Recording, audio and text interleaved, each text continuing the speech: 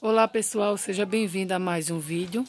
E o vídeo de hoje é para falar dessa coisa mais linda, que é o cacto amendoim, né?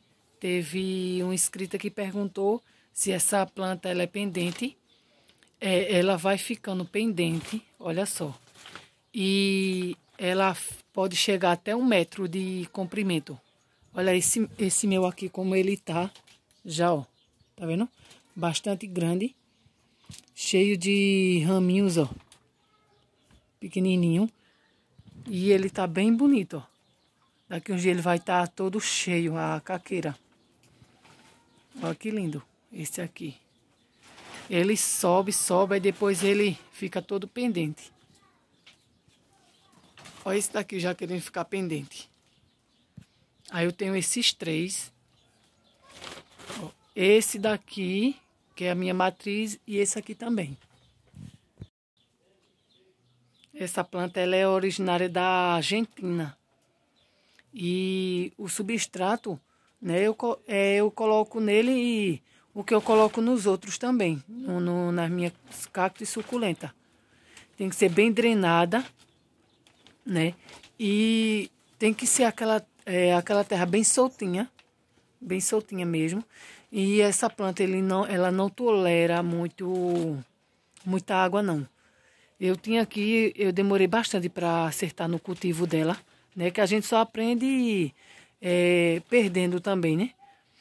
E ela não gosta muito de água, pouca pouca água mesmo. É, eu, esse aqui eu faço a rega deles uma vez na semana. E tem semana que eu faço, é, tem Vejo que quando o tempo está mais frio, eu coloco o, o dedo e vejo que ainda está molhado, ainda passa 9, 10 dias para mim poder fazer a rega. Que a gente deve fazer a rega quando o substrato está totalmente bem seco mesmo. Não tolera de jeito nenhum é, terra úmida. Aí você fez a rega, esperou secar totalmente para fazer novamente a rega novamente. E olha, eu tenho essa daqui e esse aqui também, que é brotinho. E, brotinho não. É, me desculpe. É, mudas. Aí tem mais lá na casa da minha avó também. Que eu já fiz muda para vender, né? E esse aqui, ó. É bem fácil você fazer muda. Quando cai um, um brotinho desse, você só coloca assim, ó, sobre a terra. Ó, esse aqui também, tá vendo? Eu já tinha até encostado ele aqui. Ó, vocês podem ver que tá bem seco, ó. Tá bem seca a terra, tá vendo? Ó. Ó, embaixo ainda tá úmido. Eu sinto que tá úmido. Aí a gente deixa mais tempo. Quando tiver totalmente seca é que a gente faz a rega. E eles vão crescendo e ficando lindo. E outra coisa que me perguntaram se ele é rápido ou se ele é mais lento. Aqui no meu cultivo, né, eu acho lento o crescimento desse cacto amendoim. Linda é a, fo a folha, a flor dele, né, que é uma cor alaranjada. Esses meus nunca me deram flor porque é novinho ainda. Aí nunca me deram flor não. Mas a gente vê, né, na já é as minas que posta e é linda a flor dele. Maravilhosa, uma cor laranjada, bem linda. Parecido quase com dos rabos de macaco, de gato, né? E tá a resposta aí é bem respondida, né, amiga? Eles ficam sim pendentes, tá? E ficam lindos. Maravilhoso. E ele, é, ele não tem é, os pelinhos bem curtinho, bem pequenininho. Bem fácil de você saber que é um cacto amendoim.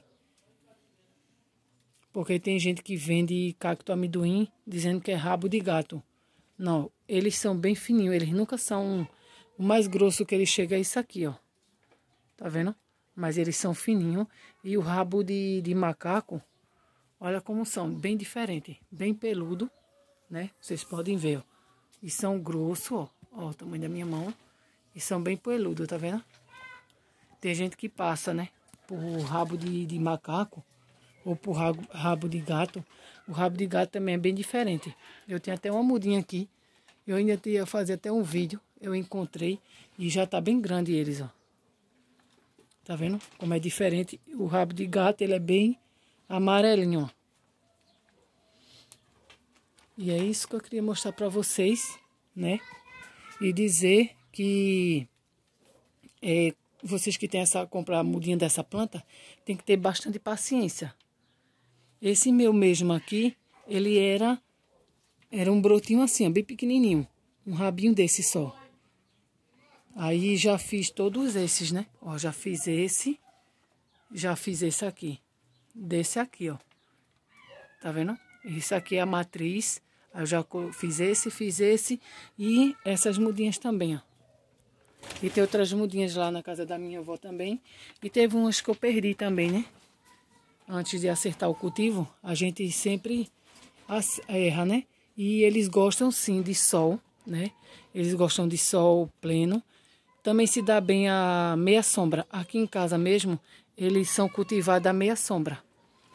Aí sim, aí eu também tenho outro brotinho aqui que eu coloquei, ó.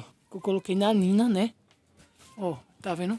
Eu coloquei só, juro a vocês, eu só coloquei dois coisinhas. Quem viu fazendo replante, né? Que eu coloquei bem pequeno, ó. E olha só, já ficando pendente. Tá vendo? Nesse, nesse substrato que eu sempre falo, né? Mas achou ele muito bom.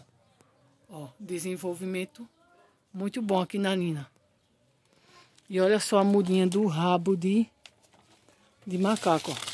Aí tem gente que acha parecido, né? Mas é o pelinho é bem diferente, ó. Tá vendo? Você vê logo os pelinhos. E esse aqui só mesmo uns espinhos, né? Ó. Muito fácil. Espero que vocês tenham gostado. Deixem seu like, comenta, compartilha, se inscrevam. Deixa aí no comentário o que vocês acharam aqui dos meus cactos amendoim. Deus abençoe grandemente cada um de vocês.